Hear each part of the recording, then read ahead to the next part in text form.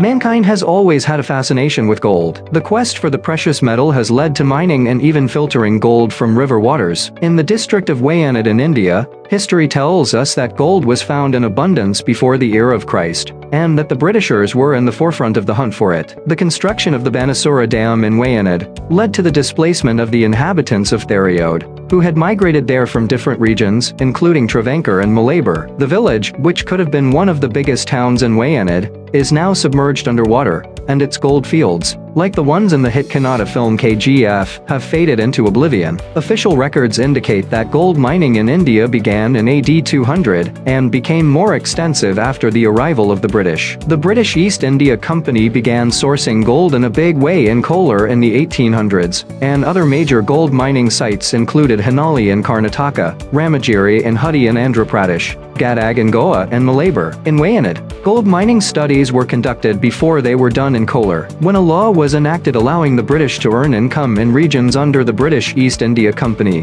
The Britishers started plantations covering large areas in Wayanad. The arrival of Smith Moon, an Australian who started the Alpha Gold Mine in 1874, led to the start of gold mining operations in Wayanad. Many companies in London also began to take an interest in the gold rush, and the mining-related activities were centered in Thariyode, Chiralmala, the Vinjal, Mapati, the Theory, Devala, Cherambadi and Pandalur. The history of gold mining in Wayanad is a fascinating one, and the documentary Thariyode, directed by Nirmal Baby Varghese, takes a glimpse into the past of this hamlet with gold fields. The glittering gold of Malabar may be lost to the waters of the Banasura Dam, but the memories of the Malabar gold rush and Malabar gold mania will forever be etched in the annals of history.